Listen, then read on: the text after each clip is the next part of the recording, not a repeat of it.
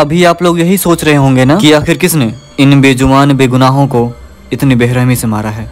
आप लोग चिंता मत कीजिए, क्योंकि ये घटना इस देश में नॉर्मल है और ये हर साल किया जाता है। मैं इसी को अपने कैमरे में कैद करने पहुँच गया मधुनी से नेपाल।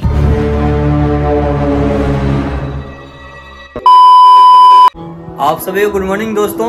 अभी मैं हूँ नेपाल में, और मैं नेपाल में खास करके इसलिए आया हूँ ताकि मैं यहाँ का दुर्गा पूजा देख पाऊँ, आज है नौवीं दिन मतलब आज लास्ट पूजा होगा, और क्या आपको भरोसा नहीं हो रहा है? एक सेकंड मैं आपको बता दूँ कि मैं नेपाल में हूँ या नहीं हूँ? एक मिनट रुक जाइए। क्योंकि बिहार में तो शराब बंद है, दारू बंद है ना? है ना? तो शराब, दारू तो केवल आपको नेपाल में ही मिलेगी। है ना? तो ये जो गाँव है, वो मेरे सॉरी गाँव, ये जो दुकान है, वो मेरे नाना जी का दुकान है। और हम लोग अभी नेपाल में ही हैं। हम हैं, मेरे साथ मेरा छोटा भाई भी आया हुआ है। और आज मम्मी लोग भी आएगी। लेकिन हम लोग बस यहाँ पे एक दिन के एक दिन के लिए रुके हुए हैं। और उसके बाद हम जाएँगे यहाँ से थोड़ी दूर पड़ती है, करीब करीब बारह किलोमीटर के आसपास में यहाँ से है, कंकाली मंदिर। जहाँ पे महिषों की बलि दी जाती है। महिषों की दी जाती है, हंस का दिया जाता है, और बकरिया जिसको बोलते हैं, छागर, उसका तो दिया ही जाता है। तो हम लोग वो देखने के लिए जाएँगे। खास करके उसी उसी के लिए हम यहाँ पे आए हैं। पता नहीं बिहार में कब खुलेगी और ये सब मिलेंगे हमारे जो कुछ पे कर लोग उनको पीने के लिए। बट ये चीज़ हानिकारक है। आप लोग इस्तेमाल मत कीजिएगा, खास करके स्टूडेंट लोग।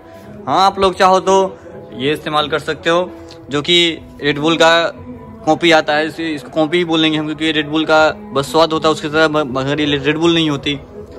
और इसके अलावा आप कुछ भी यहाँ पे हमारे लायक नहीं है, और मैं इसको प्रमोट तो बिल्कुल भी नहीं कर रहा दोस्तों।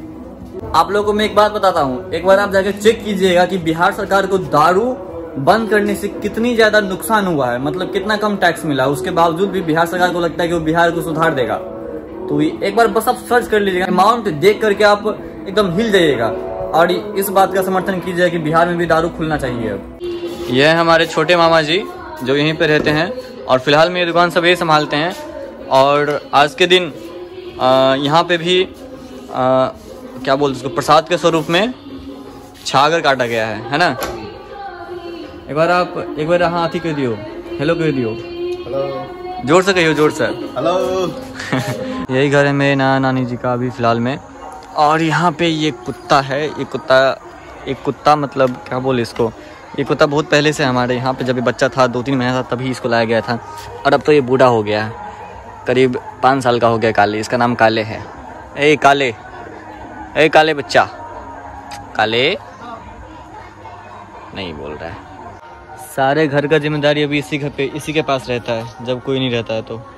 अब चलिए घर के अंदर चलते हैं और मिलाते हैं आपके अपने फैमिली से कुछ और सदस्य से। यह है हमारी नानी जी। नानी कुछ कहो भी तू? हमरा मोबाइल में। तोरा कहबो कथी कुछ कथी करै छी से कह दिन खाली। ए कथी करै छी हे? हाँ। तू की करै छी? हम मिरचाइ तोड़ै छियै। कथी ले? मसाला ला। और अतः के कोनो खास बात? आ ये खास बात है खसी चढ़ेलियै ये। हम्म, मासु खो भात खो मेला देख जो। हाँ। और अतः से मेला कते दूर पर लगे छै? कते दूर में है मेला बारो चारि किलोमीटर।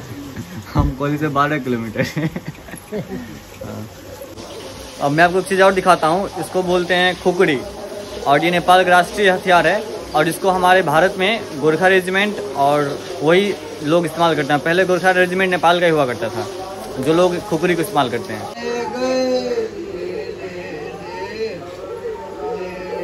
ये है मेरे बड़े मामा जी, जिनके साथ मैं जा रहा हूँ नेपाल के सप्तरी जिला में। भारदा नामक एक स्थान पे जहाँ पे कंकालिनी माता का मंदिर है और वहीं पे बलि प्रदान दिया जा रहा है। और इस पुल के नीचे से बहती है कोसी नदी, जो कि बिहार में जाकर मिलती है। अभी हम पहुँच चुके हैं मंदिर के बाहर और यहाँ से लेके मंदिर तक जहाँ पे बलि दी जाती है, वहाँ तक केवल महिषों की बलि देखने के लिए ही भीड़ लगी हुई है।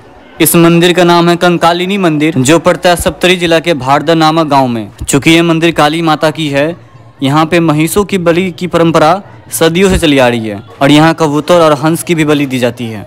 ये बलि देखने के लिए लोग न जाने कहाँ कहाँ पे चढ़े होते, चाहे वो मंदिर हो या फिर कोई पेड़ हो। बलि देने से पहले महिष को एक नंबर दिया जाता है, जैसे कि उनचास, पचास, इक्यावन, बावन, एक, दो, कुछ भी। और उसको इस स्थान पे लाया जाता है जब तक उसका नंबर नहीं आ जाता हो। नंबर आने के बाद इसी रास्ते से उसके परिजनों द्वारा उसे ले जाया जाता है। और महिषों की बलि तभी दी जाती है जब उसका कोई बड़ा मनोकामना पूर्ण हुआ हो। वैसे तो कई सारे जगहों पे महिषों की बलि देना बंद कर दी गई है मतलब बैन कर दिया गया है। मगर ये परंपरा बहुत पुरानी है, जिस कारण से यहाँ पे बंद नहीं हुई अभी तक। ये देखिए लोग कहाँ कहाँ पे चढ़े हुए हैं महिषों की बलि देखने। महिष के बलि देने के बाद उनके परिजनों द्वारा खून हाथ में उठाकर कंकालनी माता को चढ़ाया जाता है। बलि जो दी जाती है, उसका तलवार करीब पंद्रह से बीस के का होता है। इसी कारण से बलि देने वाले पंडित जी बहुत जल्दी थक जाते हैं। उसके बदले में दूसरा पंडित आते हैं बलि देने के लिए, जो की पहले से तैयार होते हैं और पूजा पाठ करने के बाद ही वो लोग वहाँ मंदिर से निकलते हैं। मेरे ख्याल से ये यहाँ का सबसे वरिष्ठ पंडित जी हैं जो कि बलि देते हैं। बलि प्रदान करने के बाद महिषों को इसी रास्ते से बाहर लाया जाता है और नेपाल के लोग इस आस्था को बहुत ज़्यादा मानते हैं। और मैं उनके आस्था एवं विश्वास का सम्मान करता हूँ। मेरा मतलब किसी का भी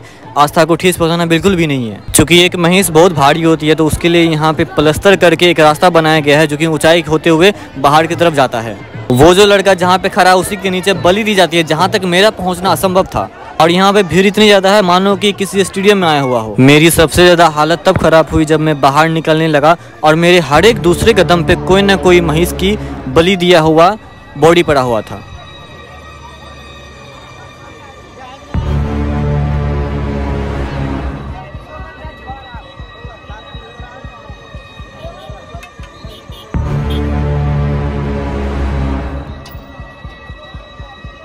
हमारा जी बोले होते अगर कहीं विवेक तुम खो जाना तो आना गाड़ी के पास। गाड़ी के पास तो आ गए मगर मामा जी अभी तक आए ही नहीं।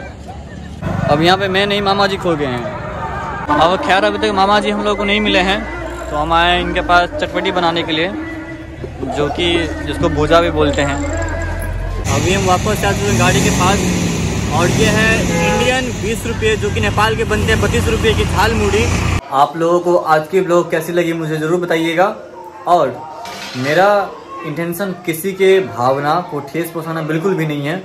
और ये जो परंपरा चल रही है, हम इसको बदल तो नहीं सकते हैं, मगर सोच बदल सकते हैं।